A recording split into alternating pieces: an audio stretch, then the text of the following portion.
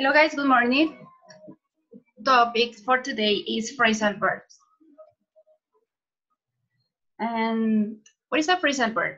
A phrasal verb is a phrase that consists of a verb with a prepositions or adverb, or both is possible.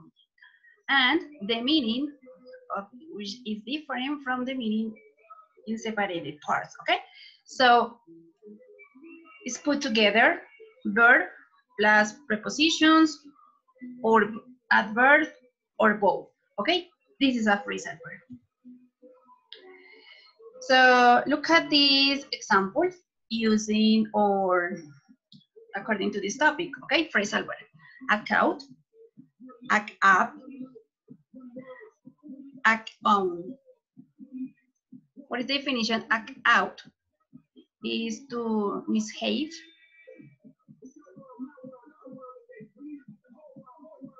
The second one is not work appropriately. And number three is take action against something. So next, get up. The meaning is to criticize someone frequently. For example, the boss always get at me. I don't know why he says like that. Next, act upon. That means agreeing accordance with. For example, the children act upon their parents' advice. Next, phrasal verb is um, ask after. The meaning is inquire about someone's health and how life is going. For example, Jenny ran early and after and asked after you. So I told her you were fine. Okay. Next phrasal verb is ask around to ask different people the same thing. For example, I'm not sure what kind of car I want to buy. Or I am going to ask around. Next phrasal verb is ask for.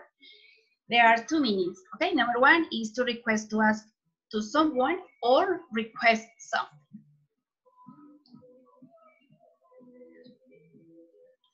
Uh, this example is Rebecca was asking for you this morning, or he asked for a special wine.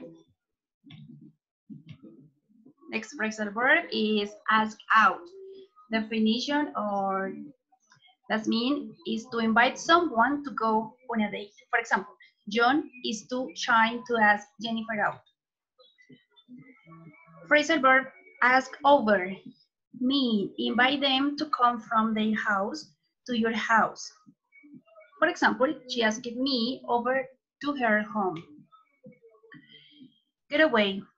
That means in relation to travel, to go away from your home for a vacation. For example, I've been working a lot lately, or I need to get away for a few days. Another phrasal verb is back down. That means to admit that you were wrong. For example, Mary never backs down. She loves to argue and generally wins. Phrasal verb back into. Enter a parking space or hit something in reverse bridge. For example, he backed into me in reverse Arab stop sign. Next phrasal verb is back up. That means the regular noun of something is a lower or stop it. For example, the traffic is really backed up. There must be an accident ahead. Another phrasal verb is back off. So there are two meanings. Number one is lower the setting off or retreat it, make a space. So guys, of course, there, there are a lot of phrasal words.